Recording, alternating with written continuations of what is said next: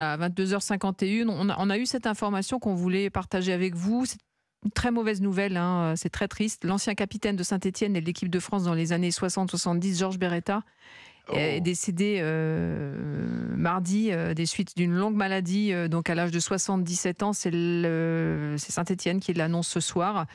Euh, bah, Beretta, évidemment, euh, 343 matchs hein, avec le maillot des Verts, 68 buts entre 66 et 74. Champion de France à six reprises. Il avait gagné trois fois la Coupe de France. Euh, Giroud, euh, là, je ne sais pas si je vous apprends la nouvelle ou si vous le saviez. Vous l'apprenez. Pour moi, c'est un ami. À chaque fois que je vais à Saint-Étienne, il faisait partie des gens que je rencontrais, extrêmement courtois, extrêmement bien éduqué, ayant n'ayant pas gagné des fortunes. À l'époque où il jouait, il gagnait pas des fortunes, mais ayant prévu de jouer, de, de vivre euh, très honorablement le restant de sa vie, vraiment. euh, Bon, nous sommes dans, dans des âges où, où ça arrive. C'était quel joueur, Guy? Un ailier gauche. Oui, non, mais d'accord, mais c'était. c'était- Alors, c'était un ailier gauche trapu, euh, trapu, crochet, très bonne touche de balle, évidemment, du pied gauche, pas maladroit du droit, mais enfin, un gauche exceptionnel. C'était l'un des premiers ailiers gauche. euh, euh, on n'en a pas en ce moment, tiens, pour, pour le dire. S'il faut un champion quand même avec, euh, avec les Verts. Hein. Ah oui, mais 44 c'était- la première grande C'est équipe. ça. Mm. 12 La première grande 12 équipe de la avec Albert. Batteux. Ouais. Et c'est quelqu'un, on parle souvent du mercato, c'est quelqu'un qui a illustré à son corps défendant le mercato, puisqu'en cours de saison 74-75, alors qu'il était à Saint-Etienne, il part à Marseille. Mhm. Marseille, qui était à l'époque le grand rival de- des Verts, rival Oni, et euh, manque de bol pour lui, euh, Saint-Etienne va être champion, et au match retour à, à, à Guichard, euh, Marseille se fait découper par, par les Verts, et tout le stade chante Beretta une chanson, et évidemment, je pense que c'est pas le meilleur souvenir de sa carrière. Surnommé le lutin vert, hein, effectivement, Et vous l'avez dit je- 44 fois Je en vais équipe essayer de de, vous France. donner un dernier sourire euh, avant de rendre l'antenne. Euh, la presse avait dit, il y avait un deuxième joueur qui est parti en même temps que lui, dont le nom m'échappe à, à cet instant, de Saint-Étienne. Robert Herbin Non, non, non, non un, joueur un interna- international. Et je- dans la presse disait, euh, Marseille les a décidés en leur offrant une télévision en couleur. On est avec Dominique Battenet euh, ce soir. Euh, euh, bonsoir Dominique, vous avez joué, vous, avec, avec Georges Beretta. J'imagine que ce soir, vous êtes très touché. Bien sûr que je suis très touché parce que d'abord, quand je suis arrivé à Saint-Étienne, Georges Beretta était la figure emblématique, une des figures emblématiques des Verts, et il m'a accueilli vraiment les bras ouverts. Ça a été mon mentor un petit peu à, Mhm. à Saint-Étienne parce que je me confiais beaucoup à lui. Il était très à l'écoute. C'est vrai qu'on on est triste. Bon, on s'attendait à cette fin parce qu'il est malade depuis euh, quelques années. Donc euh, une grosse pensée pour euh, toute sa famille, euh, son épouse euh, Lily et puis euh, ses filles euh, Sophie et Nathalie. Donc voilà, oui, une grande tristesse pour euh, pour euh, pour cette euh, cette perte de, de notre ami. ouais. Oui, effectivement. Vous avez des souvenirs? On disait quel joueur il était, euh, surnommé le lutin vert. Euh, Giroud nous donnait quelques, quelques anecdotes sur son style de jeu. Vous, que, que retenez-vous de, de ce joueur, Georges Beretta, décédé ce soir, je le rappelle, à l'âge de 77 ans, euh, d'une longue maladie?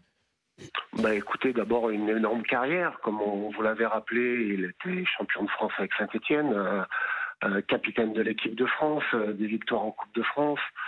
C'était un, un joueur courageux, c'était un joueur, euh, un Stéphanois pur, euh, qui avait réussi à force de courage parce qu'il avait commencé euh, ben, comme ajusteur, je crois, et puis ben, il s'est fait remarquer et à force de, de volonté, parce qu'il avait une énorme volonté, eh bien, il s'est imposé comme un des meilleurs joueurs français à son époque.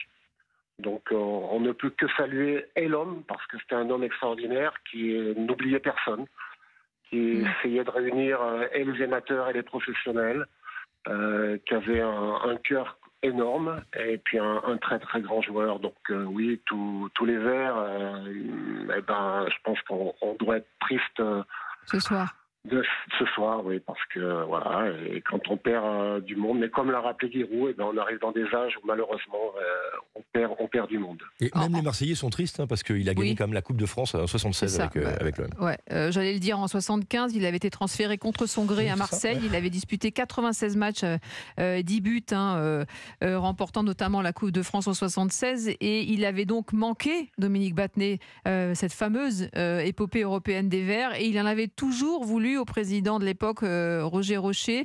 Euh, il vous en avait parlé de ça, de ce, regret éternel de ne pas avoir vécu cette formidable euh, épopée européenne? Non, il ne nous en parlait pas, mais je sais qu'il avait été très touché de, de partir de Saint-Étienne. Ça avait été, ça a été, il est resté notre ami jusqu'au bout parce que, eh bien, on l'incluait toujours dans les vers de 76. Il faisait partie de notre, de notre groupe malgré son départ en, cours de saison 74-75, euh, eh bien, il était au départ de, de, cette, euh, de cette épopée et on, le gardait toujours avec nous et je crois qu'il nous en était reconnaissant, mais nous, on était reconnaissants de tout ce qu'il nous avait apporté euh, mhm. sur le terrain et dans la vie. Euh, oui, effectivement. De, cette épopée, euh, justement, euh, vous le disiez, il, reste encore quelques joueurs, mais, mais des légendes comme celle-là, on a parlé de, de Herbin, voilà, il y, en a d'autres qui sont déjà partis. c'est difficile parce que c'est la, la légende, c'est la grande histoire du football français de la belle époque. C'était une belle époque parce qu'on était tous plus jeunes. Euh, mais c'est vrai que Robert Herba nous a quittés, Gérard Farison nous a quittés, maintenant Georges Beretta. Euh, voilà, bah, écoutez, il nous manquera quelqu'un quand on va se réunir encore euh, comme tous les ans et on aura une grosse, grosse pensée pour lui quand on sera tous ensemble. Mm. Eh bien, merci beaucoup, euh, Dominique Battenet, pour, euh, pour ce témoignage. Euh, on vous rappelle l'information. Hein, l'ancien capitaine de Saint-Etienne et de l'équipe de France dans les années 60-70, Georges Beretta, est donc décédé ce soir des suites d'une longue maladie. Il avait 77 ans. Un dernier mot avec vous, Giroud, sur ce joueur, en quelques secondes. La courtoisie. Parce que moi, moi j'étais un obscur. J'étais, je, venais, je repartais dans la nuit d'Auxerre, c'est 400 km pour voir les matchs de Saint-Étienne. Donc j'étais un, spectateur. après, j'ai été joué en CFA, à Marseille, mmh. à Saint-Étienne et tout. Bon, puis je l'ai connu.